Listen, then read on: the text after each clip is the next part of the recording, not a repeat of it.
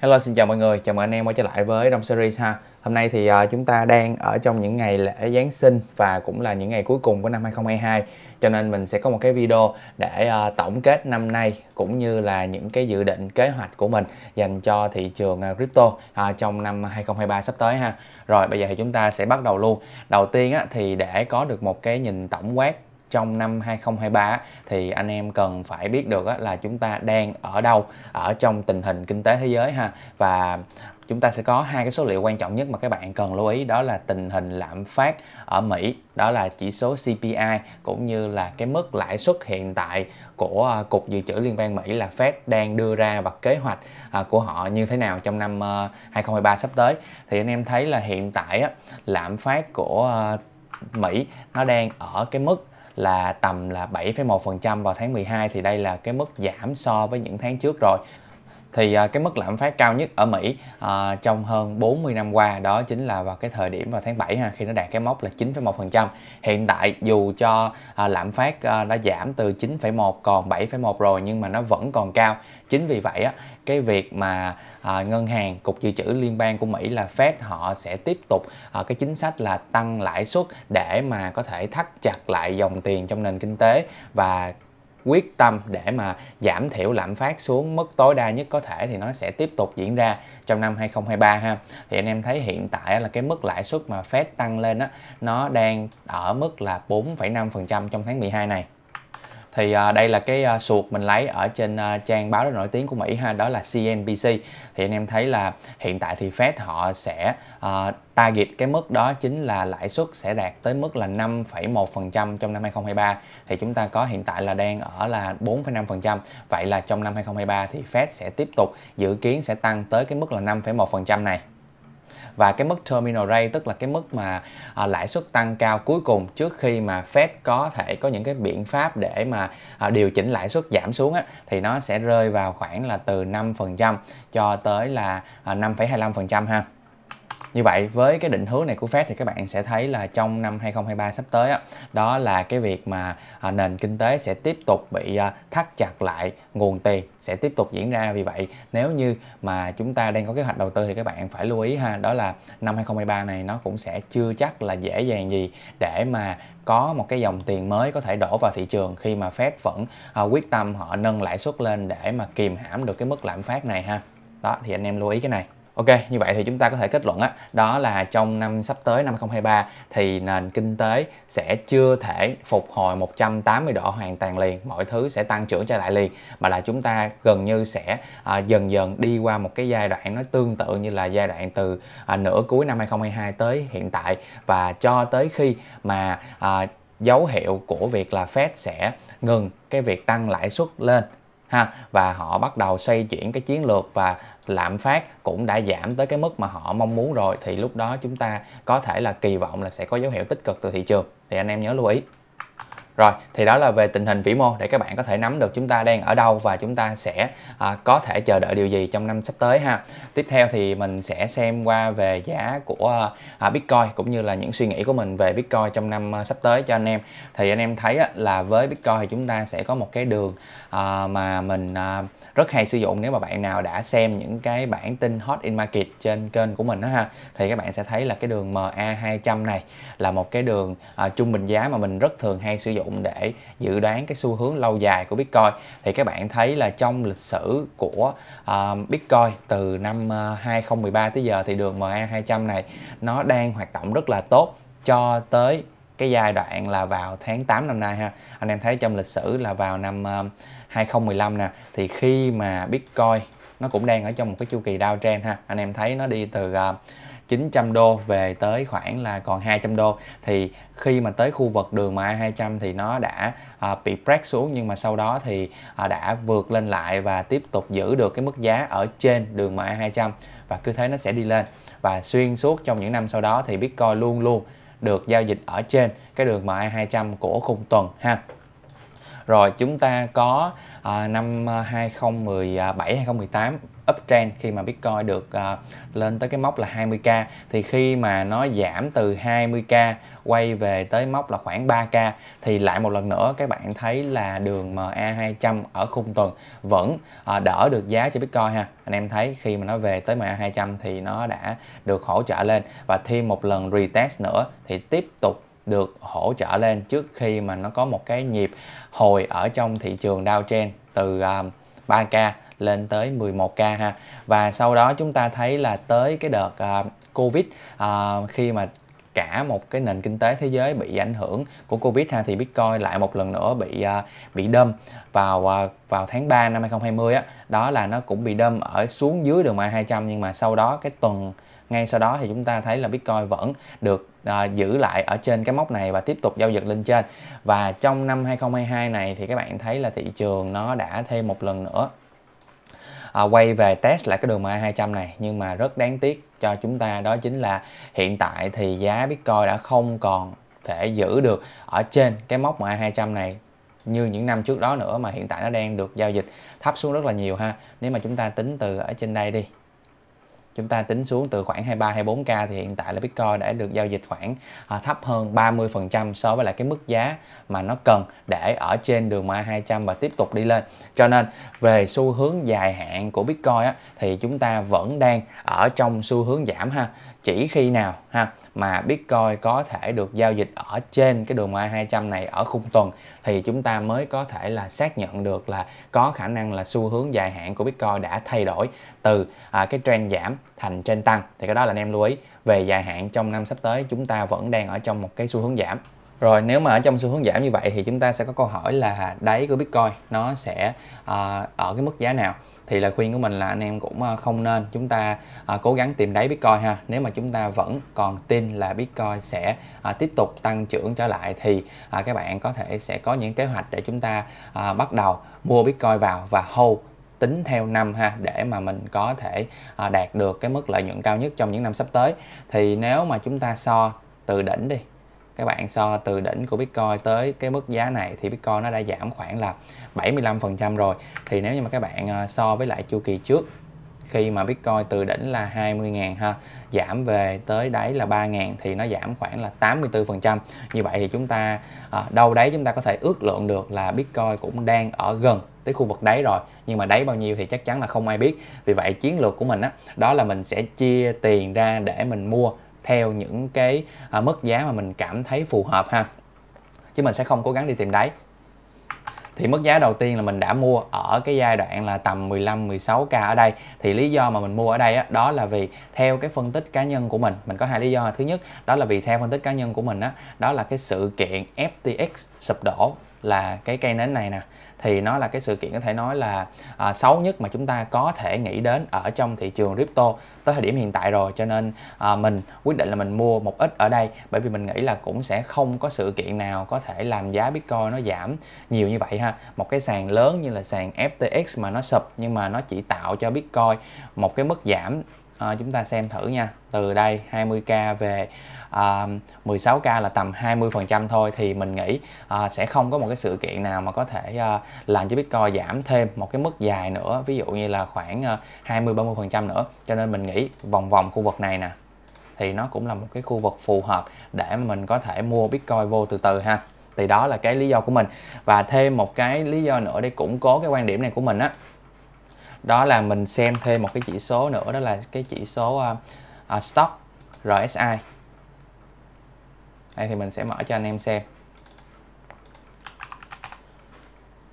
Thì với cái chỉ số uh, stock RSI này anh em sẽ mở uh, dùng ở khung tuần ha. Thì các bạn thấy nè mỗi lần mà Bitcoin chúng ta xem trong dữ liệu quá khứ luôn. Chúng ta thấy uh, vào năm 2013 ha khi mà Bitcoin chạm đáy ở cái mức giá này lần đầu tiên. Thì anh em thấy là cái chỉ số stock LSI này nó cũng nằm ở cái mức là quá bán ở dưới đây ha. Rồi tiếp theo, các bạn xem ở cái giai đoạn à, năm à, 2017 2018 thì khi mà Bitcoin về tới cái mức đáy này lần đầu tiên thì cái stock RSI này nó cũng về tới cái khu vực là quá bán.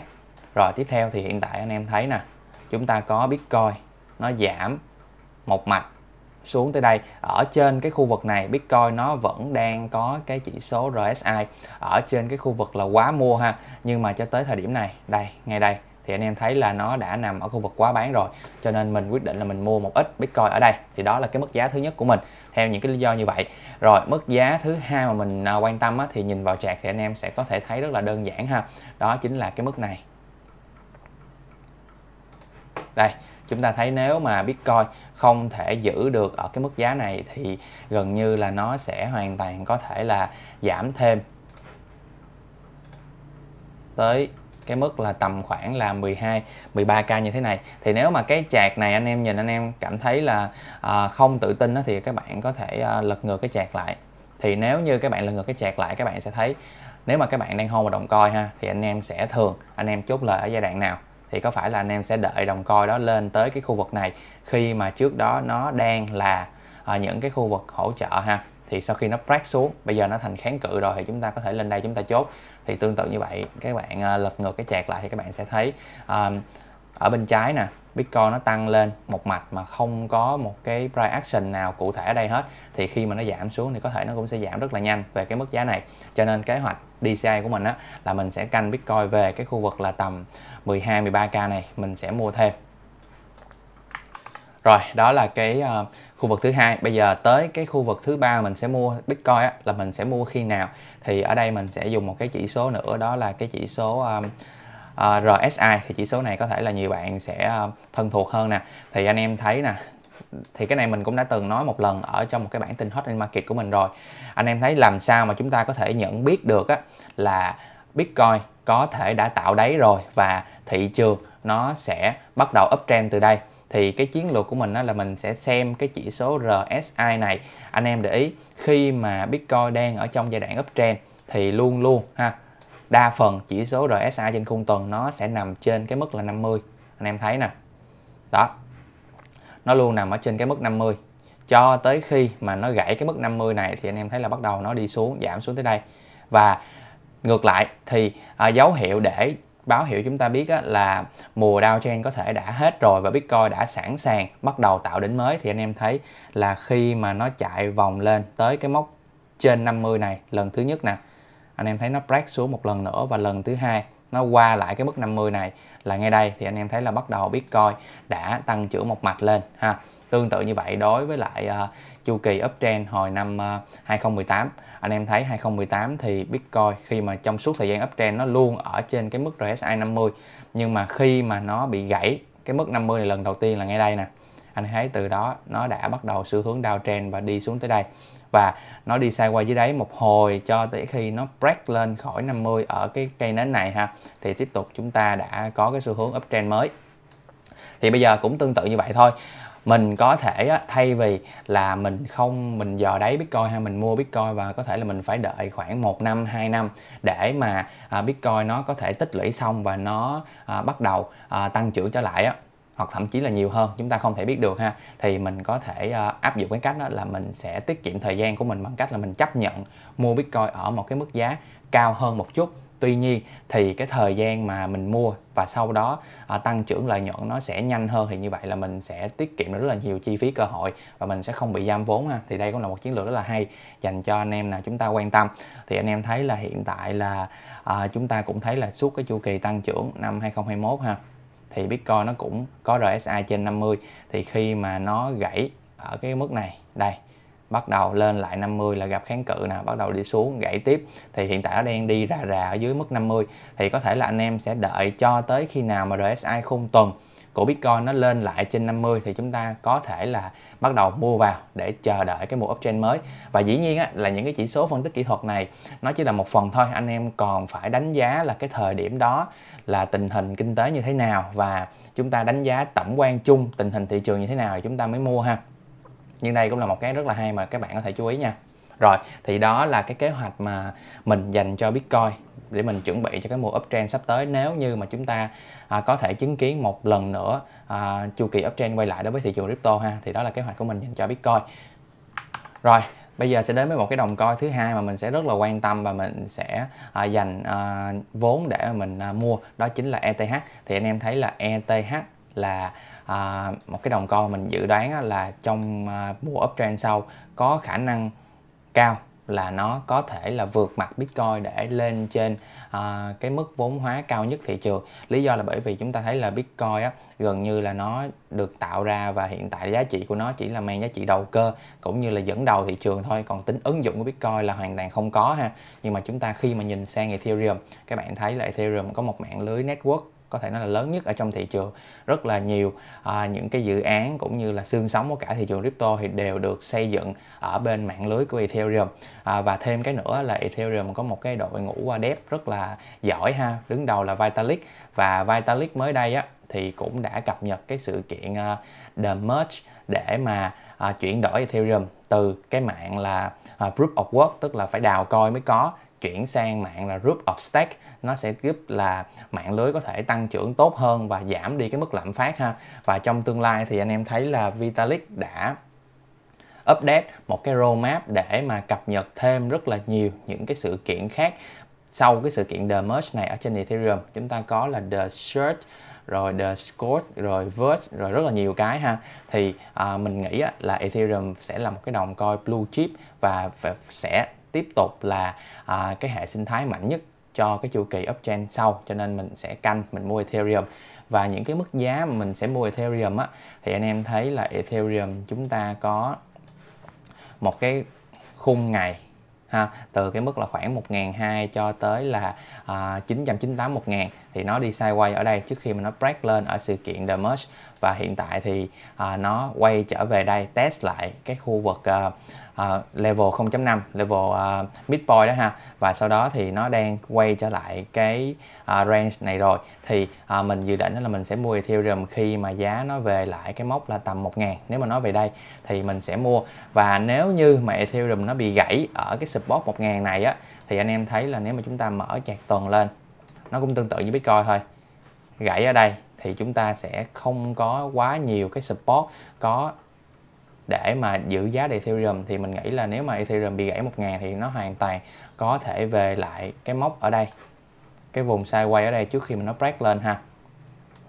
Là mốc tầm là 4 500 thì uh, nếu mà về đây thì mình sẽ mua rất là nhiều luôn. Còn hiện tại thì uh, mình nghĩ uh, theo quan điểm cá nhân của mình á, thì Ethereum khả năng để break lại cái break xuống cái mốc dưới 1.000 nó cũng à, tương đối là khó ha nhưng mà không phải không thể mình sẽ chuẩn bị à, những cái kịch bản cho Ethereum rồi, à, đó là Bitcoin và ETH. Bây giờ thì à, mình sẽ điểm qua một số những cái đồng altcoin mà mình à, đang quan tâm và nó có thể là nằm ở trong portfolio của mình ha. Thì nếu mà bạn nào follow trên uh, channel của mình á thì anh em sẽ thấy là cái đồng layer 1 mà mình hold duy nhất xuyên suốt cái mùa downtrend vừa rồi đó chính là Item ha.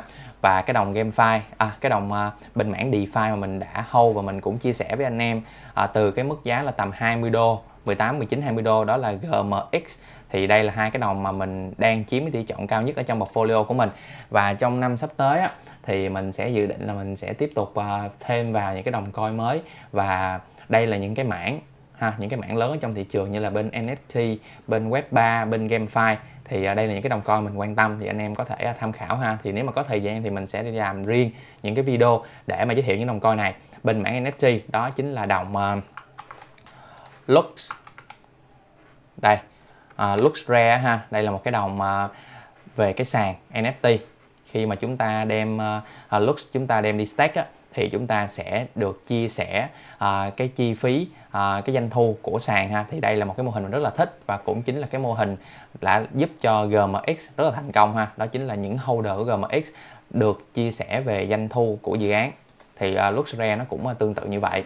À, rồi tiếp theo ở bên mảng web 3 thì mình quan tâm hai dự án ha. Thứ nhất đó là AR à, có tên là Allwave thì à, cái dự án này á, nó làm về một cái nền tảng để có thể lưu trữ dữ liệu hoàn toàn là à, vĩnh viễn ở trên à, hệ thống internet ha. Thì à, đó chính là Allwave và dự án Allwave này á, đã được à, những cái quỹ đầu tư lớn ở trong thị trường như là Coinbase hay là A16Z à, đầu tư. Và ở trong à, hồi đợt tháng à, 11 vừa qua thì Allwave cũng chính là đối tác để mà Instagram ha công ty ờ, của Facebook họ ờ, hợp tác để mà lưu trữ NFT của Instagram thì Away chính là cái blockchain được chọn. Cho nên ờ, về tương lai của crypto thì mình nghĩ là cái việc mà cần một cái nền tảng để mà lưu trữ thông tin ở trên thị trường web 3 ở trên web 3 thì Away sẽ là một cái ứng cử viên rất là quan trọng ha. Và cái con web 3 thứ hai mà mình quan tâm đó là con AKT thì uh, AKT này nó làm về mạng lưới uh, cloud hosting ha. Nó cũng giống tương tự như là Amazon AWS à, nếu mà bạn nào sử dụng uh, thì các bạn sẽ biết ha. Và AKT á, thì mình đã có một cái video ở trên kênh của mình giới thiệu chi tiết về dự án này rồi. Đây uh, review dự án uh, Akash Network AKT thì anh em có thể uh, anh em có thể lên đây anh em xem ha. Rồi à, tiếp theo ở bên mảng uh, GameFi hiện tại thì mình đang quan tâm cái dự án là à, PIR đây. À, Vulcan Fox ha. Thì dự án này à, nó làm cũng rất là uy tín và ở trong à, xuyên suốt cái mùa downtrend vừa rồi thì nó liên tục ra sản phẩm mới cũng như là tạo ra một cái app chain riêng cho mình cũng như là gọi vốn thêm. À, thì anh em nào quan tâm thì anh em có thể tìm hiểu thêm. Mình có thời gian thì mình sẽ làm riêng một video giới thiệu với anh em về cái dự án GameFi này. À, PIR ha. Những dự án mà mình uh, chia sẻ với anh em á thì uh, hiện tại là có ờ, chỉ có AKT là anh em phải ờ, nếu mà mua thì chúng ta sẽ mua ở những cái sàn nhỏ hơn. Còn phần lớn như là uh, Atom rồi Lux rồi BR GMX đa số thì đều đã có trên những cái sàn lớn như là Binance rồi ha. Rồi ok à, tiếp theo một cái xu hướng mình uh, sẽ uh, tăng cường mình chia sẻ rất nhiều ở trong uh, năm sắp tới. Uh, và mình cũng đang quan tâm rất là nhiều tới nó đó chính là thị trường NFT thì uh, thị trường NFT này anh em thấy nó là một cái xu hướng tất yếu uh, diễn ra ha. Chúng ta thấy rất là nhiều những công ty lớn ở trong thị trường như là uh, Facebook ha đổi tên thành Meta là Metaverse cũng liên quan tới NFT chúng ta có uh, uh, công ty xe hơi phát triển uh, ô tô là Porsche cũng đã uh, ra mắt bộ sưu tập NFT rất là nhiều những công ty khác Adidas, Nike đều đã tham gia vào thị trường NFT rồi. Cho nên nó là một cái xu hướng tất yếu ở trong thị trường. À, chúng ta nếu mà lúc trước thì mình cũng cảm thấy là mình cũng uh, không có quen lắm với thị trường NFT thì tại vì mình thấy là mình chưa tìm ra được cái giá trị gì để mà hô những tấm ảnh đó. Nhưng mà hiện tại thì nó là cái xu hướng rồi cho nên nếu mà chúng ta không chấp nhận xu hướng á, thì chúng ta sẽ rất có thể bị tuột lại phía sau. Cho nên mình khuyên các bạn là bạn nào chưa quan tâm tới NFT thì các bạn nên dành thời gian bắt đầu tìm hiểu đi là vừa. Tại vì thị trường NFT nó vẫn còn rất là mới và còn rất là nhiều cơ hội chúng ta ha.